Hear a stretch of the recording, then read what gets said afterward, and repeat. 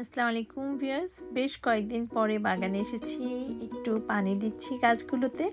মরিচ গাছগুলোতে এখনও অনেক মরিচ, যদিও আমি তেমনভাবে এখনও হারভেস্ট করিনি। সেজন্যই একটু ড্রাই হয়ে আছে। ভাবলাম ওয়েদারটা যেহেতু ভালো, আঠারো উনিশ চলছে। একটু পানি দিয়ে দিই। তাতে গাছগুলো একটু সতেজ থাকবে। এখন যদিও তেমনভাবে পানি দেওয়া হচ্ছে না গাছগুলোতে। এবং সেই সাথে অনেকটা অপ্রত্যাশিতভাবেই বাগান থেকে কিছু হারভেস্ট করে নিচ্ছি।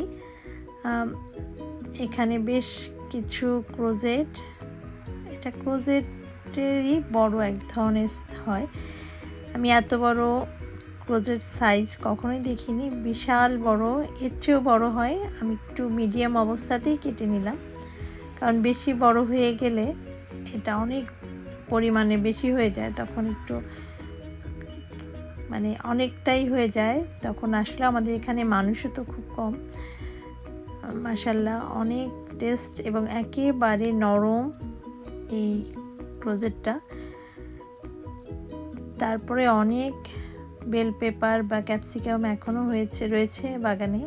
যদিও অনেক, যখন আমার আসলে লাগে তখন কেটে নিই। একেবারে পুরোপুরি আমি হারভেস্ট করিনি, বাগানে এখনও প্রচুর সবজি রয়েছে, অক্টোবরের আজকে প্রায় সাত তারিখ অথবা আট তারিখ। যখনই যে কোনো সবজি লাগছে তুলে নিচ্ছি। শুধুমাত্র বিনসটাই ভেবেছিলাম যে আমি মনে হয় পুরোপুরি হারভেস্ট করেছি, কিন্তু তারপরও এখনও রানার বিনস, তারপর ফ্রেঞ্চ বিনস হচ্ছে, সেগুলোকেও কিছুটা তুলে নিব। মাসাল্লাহ এবছর আমি প্রায় কত কেজি যে হারভেস্ট করেছি যদি মাপা যেত সেটা আসলে বলা মুশকিল। বিশ কেজির উপরে তো হবেই বা তারও বেশি হতে পারে। যখনই এসেছি বাগানে প্রায় তিন থেকে চার কেজি করে হারভেস্ট করেছি।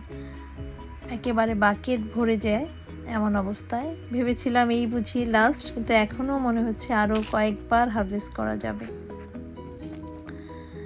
এবং খুবই হেলদিভাবে এই গাছটা বেড়ে উঠেছিল মাসাল্লাহ একটু ছোট অবস্থায় যদি এগুলোকে হারভেস্ট করা যায়, একেবারে বাংলাদেশি সিমের মতনই জাস্ট গলে যায় একেবারে। আর যেহেতু এবছর আমার বাংলাদেশি সিম এখনও হচ্ছে, তেমনভাবে আমি হারভেস্ট করিনি। কিছু বেগুনও কেটে নিব। খুবই ভালো লাগে, যখনই বাগানে আসি হঠাৎ করেই কিছু না কিছু কেটে নিতে হয়। দেখা যায় যে হয়তো নষ্ট হয়ে যাচ্ছে। যেহেতু ঠান্ডা পড়ে গেছে, সে কারণেই আস্তে আস্তে করে আমাদের বাগানগুলোকেও কিন্তু ছোট করে ফেলতে হবে। কয়েকদিন আগে মাত্র দু থেকে খুব বেশি হলে দু সপ্তাহ আগেই আপনাদের সাথে শেয়ার করেছিলাম। মূল আর সিট ছিটিয়েছিলাম। মাসাল্লাহ এর আগেও একবার তুলেছি। এবং আজকেও ভাবলাম যে যেহেতু একটু ঠান্ডা পড়ে গেছে এবং এখানে কিছুটা স্লাগের প্রকোপ দেখা যাচ্ছে, সে কারণেই মূলাগুলোকে তুলে নিলাম।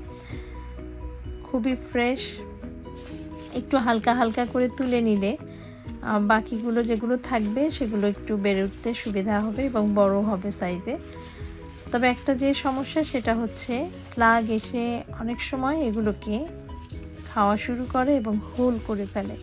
এবং পাতার মধ্যে তো পাতা তো খেয়ে ফেলছে। মাসাল্লাহ অনেকগুলোই শাক তুলে নিলাম।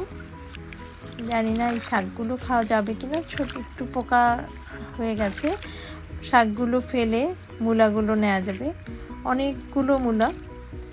ইচ্ছে করলেই আমরা এই সময়টাতে সরিষা আপনাদের সাথে শেয়ার করেছি। সরিষা, তারপরে মেথি, মূলা শাক, এগুলো যদি আমরা ছিটিয়ে দিই। আমরা কিন্তু ইজিলি বাগান থেকে হারভেস্ট করতে পারব।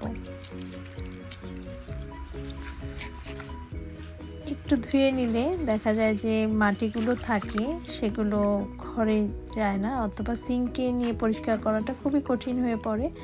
গার্ডেন থেকে যদি আমরা একটু পানি দিয়ে ওয়াশ করে নিই, তবে কিন্তু একেবারে ফ্রেশ বাজারের মতো পরিষ্কার পাওয়া যায় মাসাল্লাহ অনেকগুলো সবজি হারভেস্ট করলাম। এখনও বাগানে অনেক সবজি রয়েছে যেগুলো হারভেস্ট করা যাবে। আমি আসলে যেহেতু ওয়েদারটা এখনও ভালো আছে, সে কারণেই পুরোপুরি হারভেস্ট করিনি। যখনই যেটা লাগছে করে আনছি। এবং যদি হঠাৎ করে ঠান্ডাটা বেশি পড়ে যায়, তখন অবশ্যই সবগুলো সবজি একেবারে যে সাইজেরই থাকুক হারভেস্ট করে ফেলব। এখানে কাঁচামরিচ, সিম, তারপরে ক্যাপসিকাম এবং অনেক মরিচ এখনও বাগানে রয়েছে, যেগুলো আমি হারভেস্ট করব এবং অবশ্যই আপনাদের সাথে শেয়ার করব। ক্রোজের ম্যারো এখনও রয়েছে এবং যদিও শশা এখনও বেশ কিছু রয়েছে, তবে অধিকাংশই শেষ। বিটরুট পামকিন তো অনেক রয়েছে এবং লাউ এখনও রয়েছে। এই ছিল আমার আজকে ছোট্ট একটা ভিডিও আপনাদের সাথে শেয়ার করলাম। আশা করি আপনাদের কাছে আমার আজকের ভিডিওটি ভালো লাগবে। ভালো লাগলে প্লিজ চ্যানেলটি সাবস্ক্রাইব করবেন লাইক কমেন্ট শেয়ার করতে ভুলবেন না। থ্যাংকস ফর ওয়াচিং আল্লাহ হাফিজ।